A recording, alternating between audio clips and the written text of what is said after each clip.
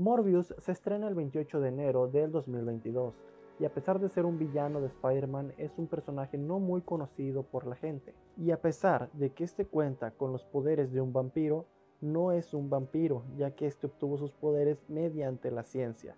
Bien, pues si tú no conoces a este villano, quédate a ver este video porque hoy te voy a explicar algunas curiosidades y detalles de Morbius para que vayas conociendo este personaje.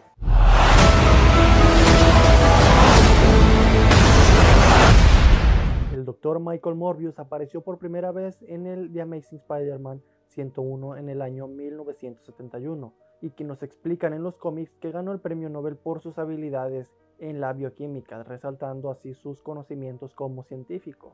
Pero después con el tiempo, este empieza a desarrollar una enfermedad en su cuerpo que lo está destruyendo poco a poco. Y tal como se nos explica en los trailers de la película, este empieza a buscar una cura para ello, así que recurre a murciélagos para encontrar esta bendita cura.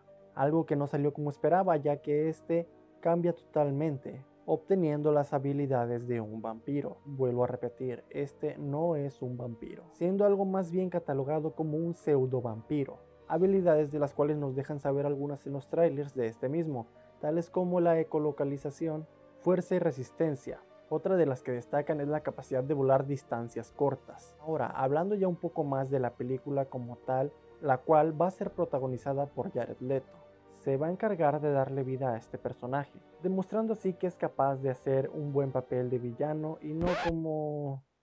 Mejor no hablemos de eso.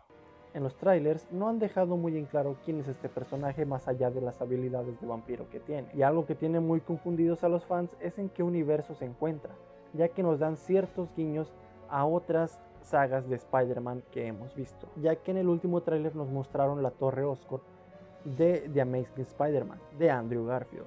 Después otra donde Morbius está escapando de la cárcel, donde nos muestran de fondo en la pared un cartel con el Spider-Man de Tobey Maguire con la palabra asesino. Pero también al final de este tráiler nos muestran que este personaje conoce a Venom. Who the hell are you, man? I am Venom.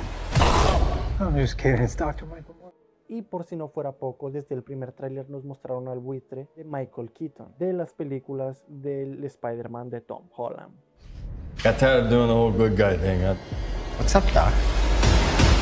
Sin duda alguna nos dejan un mundo de posibilidades y teorías que podemos ir sacando hasta el estreno de esta película, para resolver esta gran duda de en qué universo se encuentra. Bueno, y ya que te hablé un poco de este personaje, me encantaría que me dijeras tú en los comentarios qué esperas para esta película.